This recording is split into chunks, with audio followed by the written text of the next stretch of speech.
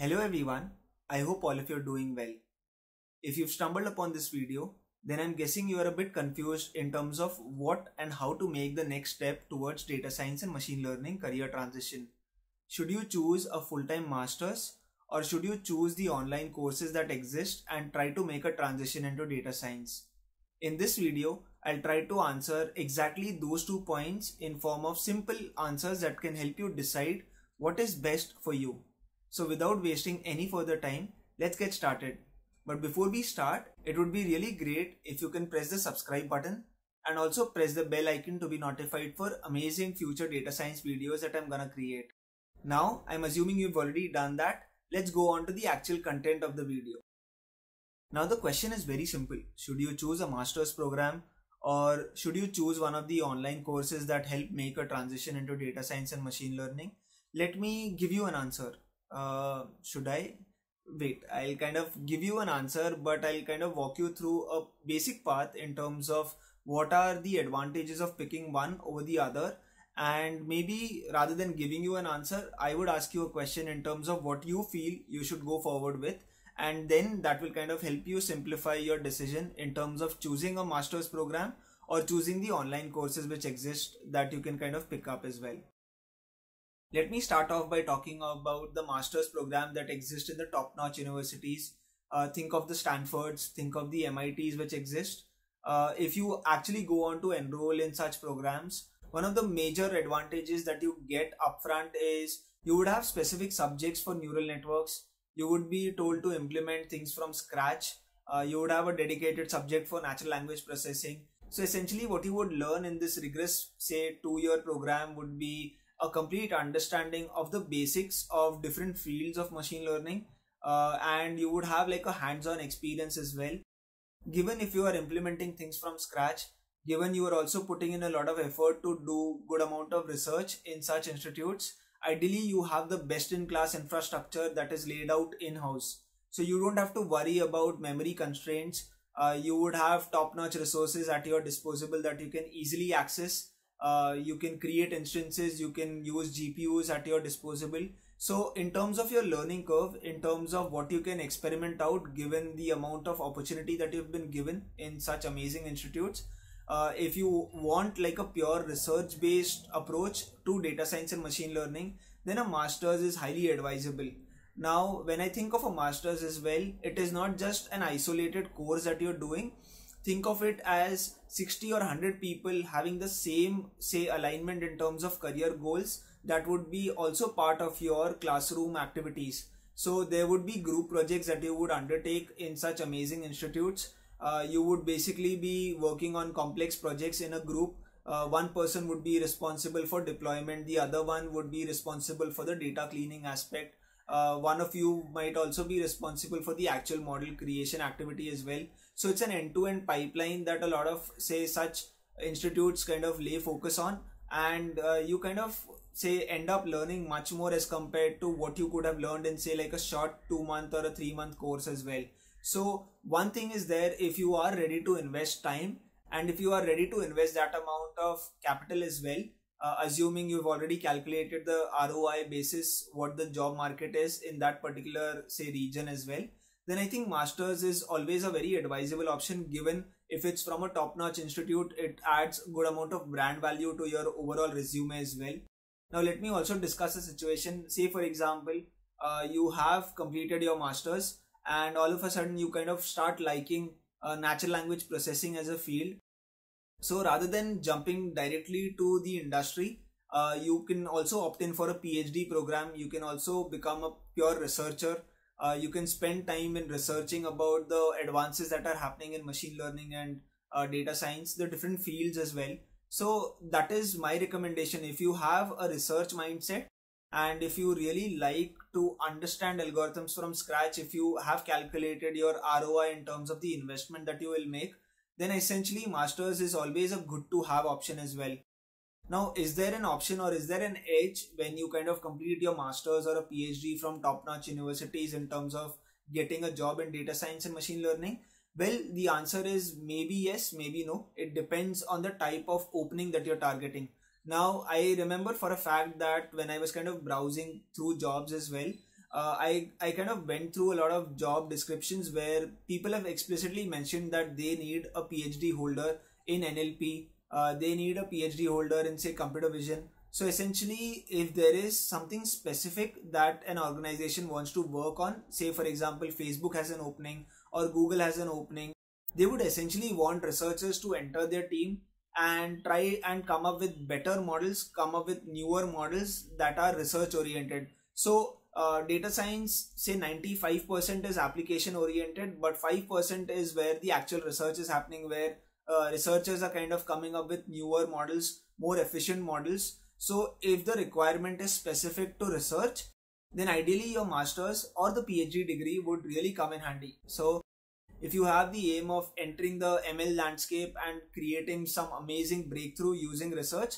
then ideally i would highly encourage all of you to pick up masters let me move on to the next point, uh, which is the advantages of online courses. Now, given uh, the amount of demand that has generated for data science job openings, given the amount of data that has been generated by organizations in a per second interval as well, uh, companies or organizations require people to come in, understand that data, and say make sense of that data and try to create a business impact using the models that they have in mind as well. So uh, all of such things are kind of gaining popularity. The number of data scientists that were required in 2016 have exponentially increased when I consider 2020. So this increase has led to greater demands and there are more people say from software engineering domain or a non-IT domain who want to put in their bit of effort in terms of understanding data science and machine learning and transitioning into a data science equivalent role. So that is where a lot of organizations want people to come in with a basic understanding or with a decent understanding of machine learning and data science. Now, there are a lot of people who are fresh out of college and there are a lot of people who have say X years of experience as well. Now, say for example, a person already has five or six years of experience. For him, in terms of the ROI, in terms of the time he has to invest, and if he's just looking for an application oriented role in a data science organization, then ideally the online courses is something that is much more suitable for him as well. The online courses, uh, most of them on YouTube, some of them on Udacity, good amount of courses on Coursera, EDX are kind of free of cost if you're not chasing behind certificates. If you want a certificate by a name that you've completed a course along with its assignments and all of that as well, then ideally at that point of time, uh, you would have to pay a very nominal charge in terms of getting that certificate as well.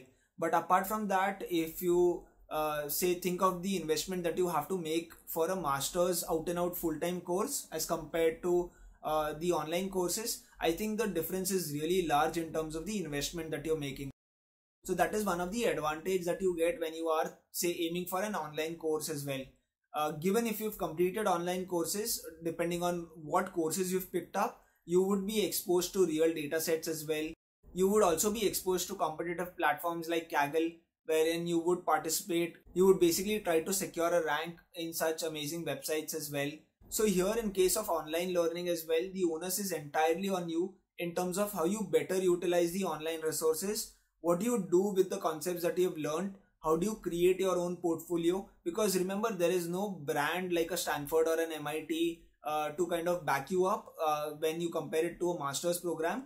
Here you are entirely on your own. You've learned concepts maybe you can come up with your own fancy projects using machine learning uh, which kind of depict the wide range of applications where ml can be adopted.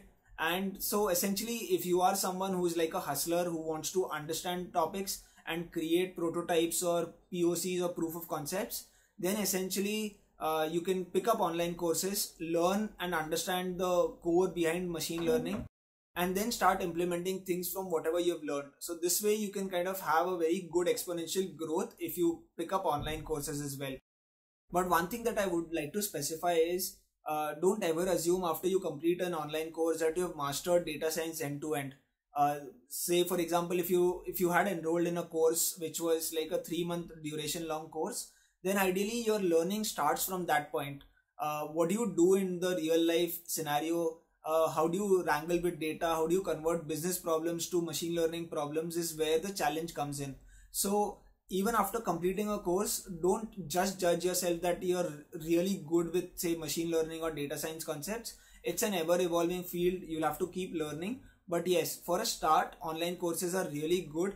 Uh, online courses are also good to bring you at par with decent amount of knowledge in machine learning and data science so that is what i had to share in terms of the online courses which exist right now.